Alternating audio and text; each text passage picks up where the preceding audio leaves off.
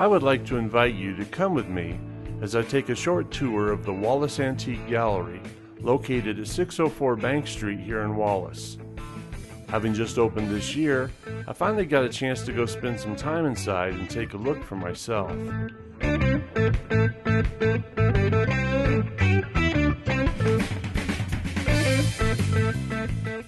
Wallace has several antique and collectible stores. A couple of them appear in various videos I made in the past for the Historic Wallace Preservation Society. And though those videos' focus was the historic buildings, there is a short tour at the end of each one that shows the businesses that are currently located in them. And it just so happened they were antique and collectible stores. Each of these shops is unique and they each differ from one another in several ways. I've posted links to those videos in the description below. I've noticed it seems like that no matter what area a person travels to, or how many different antique collectible or curio shops may be located there, you'll always find that one special shop that stands out from all the others in that area. It ends up becoming that one store that you'll always return to and visit each time you're in that area, even if you're currently not looking for something special. In North Idaho, I believe that standout place is here, the Wallace Antiques Gallery. Owner and proprietor Rich Asher opened this store just this year, 2014, as a place to showcase his higher end and more unique antiques that he has in his collection. Rich is also the owner of the North Idaho Trading Company located just down the street. And for many years, most have considered this place to be the standout antique store in the Silver Valley. But now, that opinion may change.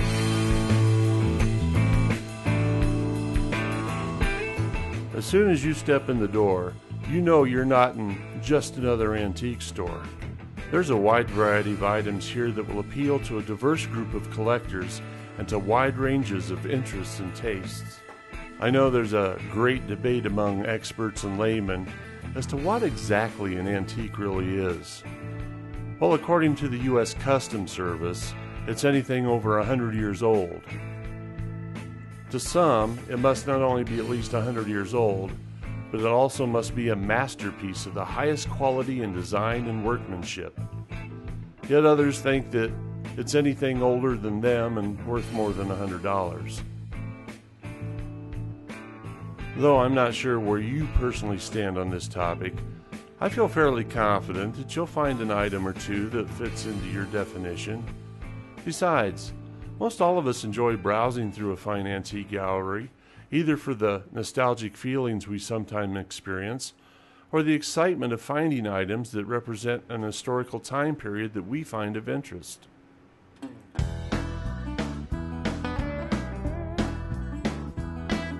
As I said, Wallace Antiques is fairly diverse. Some galleries tend to focus mostly on one or two kinds of antiques. Some will have mostly furniture, Others might have more art and sculpture.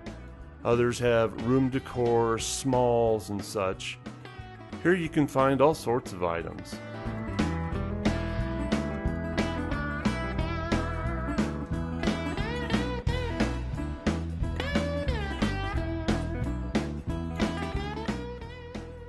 Not too long ago, while watching a different video, the North Idaho Trading Company, a great guy I know made the comment, well, that's not an antique store, that's a mantique store. To some, this may seem to apply here as well, but yet it really doesn't. Most all the items you'll find here are cross gender, and they're the kinds of items you might come across in any other antique gallery. Elegant china, tableware, art and home furnishings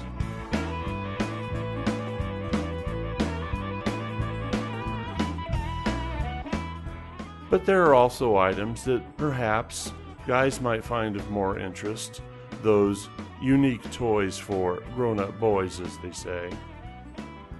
Some items are antiques from the local area and represent Wallace's historic mining and railroad past. Fact, a good deal of the collection does represent that time period from the late 19th to the early part of the 20th century and reflects a time when the United States went through a social and cultural change. The time that saw the official closing of the American western frontier and America becoming an industrialized world leader with a unique culture all its own.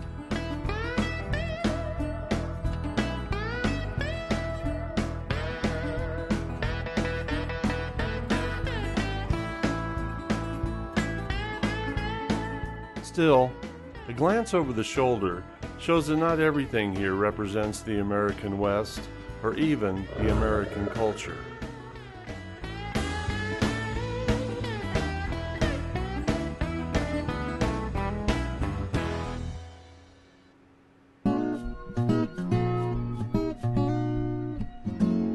There's a nice assortment of items that reflect our society's love for music of all kinds. There are the items that make the music, the items that present the music, such as a phonograph player, and there's items that do a little bit of both, like this player piano. This unique piece also happens to be coin operated.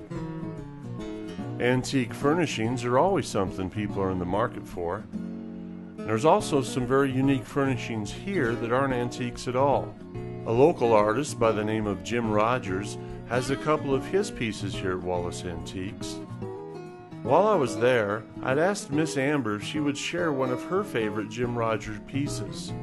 It was the one I had noticed when first coming in the door. This is a birch twig desk that he crafted. His workmanship is top grade.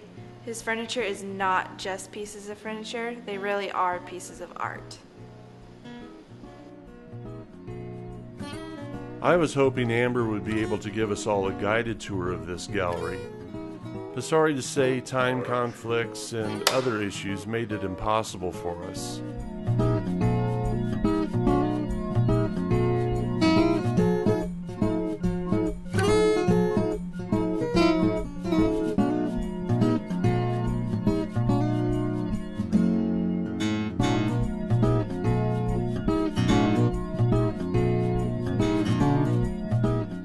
One of my favorite displays is the antique toys. Considering the age of some of them, it's a wonder any of these things survived at all.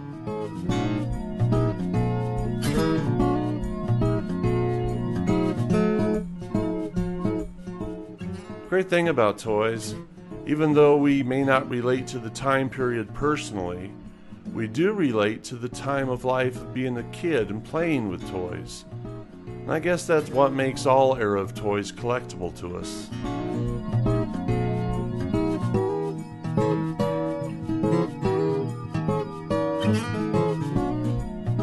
Wallace Antiques is also home to Northwest Wines. They have a small assortment of local fruit wines made right here in the Northwest.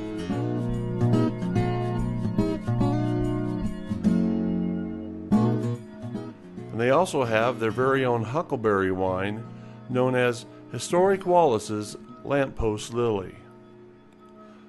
They say Idaho is famous for its great potatoes, but here in North Idaho, especially the Wallace area, it's huckleberries that everyone comes for. I'm your huckleberry.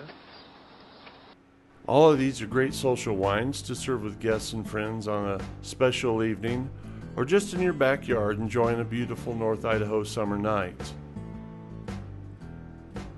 I hope that if you're ever in the area, you'll stop by the Wallace Antiques Gallery in Northwest Wines. It will become one of your must stop and see places each time you're in the area. Hours are 10 a.m. to 5 p.m. Tuesday through Saturday. They're closed on Sundays and Mondays. You can contact them at 208 753 0591. Or if you have an item of interest that you would like more information on, you can contact Rich directly at 208 753 2911.